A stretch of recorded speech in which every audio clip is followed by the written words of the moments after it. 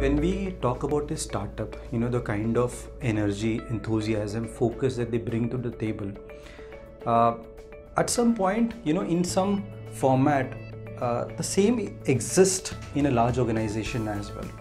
Though we keep talking about uh, the large organization need to have that aggression, that agility, that startup culture but uh, we also need to realize that they have not become large just by uh, just like that overnight you know. They had that they still have it at some point. Probably it is not visible because they're too large you know? but uh, primarily what uh, leaders or uh, you know the experts they speak about is that can that be more visible? Can you change more quickly? Can you respond more quickly? Like let's uh, take example of a, of a customer service scenario. The customer has to wait for the TAT as per the large organization to get a response or get some sort of a service or get his or her uh, complaint attended to. Uh, but in a startup sort of a case, if you don't attend to it immediately, there is a problem.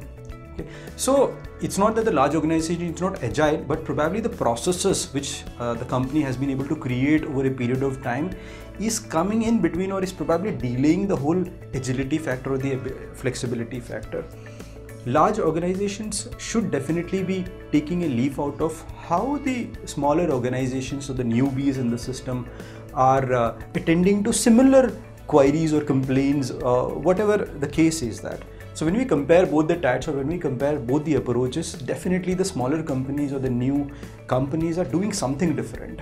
What is that difference is I think a realization that the larger companies should definitely take a pause and look at that and see how I know that they'll not be able to really change the whole system, uh, set of processes. They're too rigid, they're too big, too, too deep, but they can still do some fine tuning in their own existing approaches uh, and systems and processes.